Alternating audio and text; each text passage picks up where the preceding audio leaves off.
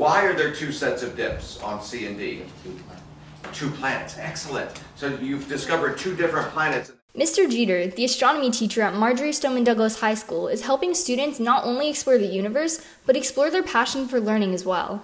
I started asking around if there's a class in astronomy, and I was stunned to find out that the county didn't offer a class in astronomy. And I knew this was kind of a revolutionary time in that field. And I thought, well, we have to have a class in astronomy. It's asking, you know, why are we here? Are we alone? I mean, these are just huge fundamental questions of our existence, and that's astronomy's goal. So we were the first uh, astronomy class in Broward.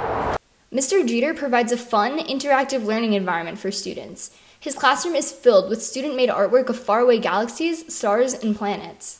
His passionate, fun, and engaging teaching methods have been recognized by students and staff alike. Jeter was awarded Teacher of the Year in 2017. His creative take on education has led to his ever growing large class sizes. I want to take astronomy next year because I heard Mr. Jeter is an awesome teacher. I want to take astronomy because of all the cool labs that Mr. Jeter does. Not only does Mr. Jeter inspire students inside the classroom, but outside of it as well. He sponsors projects such as the School Garden and Project Aquila. Marjory's Garden was sort of started on a whim. We were watching, I was standing down the hallway watching them destroy the old portables. There were a whole bunch of portables out in that field. I'm standing there watching and I thought, huh, I wonder what they're going to do with this large space of land.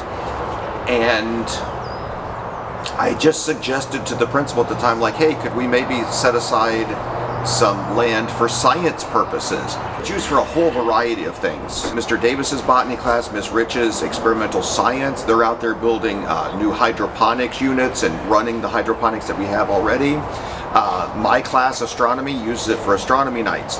Other class, I've seen every type of class out there utilizing it. So Project Aquila is a high altitude balloon project that was started in 2010.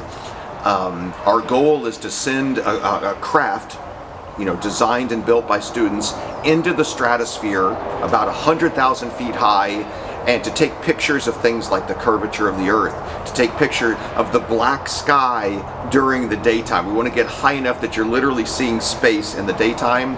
Teachers like Mr. Jeter are valuable and irreplaceable. Mr. Jeter inspires students to pursue their dreams. Some of his former students have even gone on to work for NASA and Blue Origin, two of the leading space exploration companies in the world. Thanks to teachers like Mr. Jeter, students are able to receive an out of this world education in an engaging and fun way.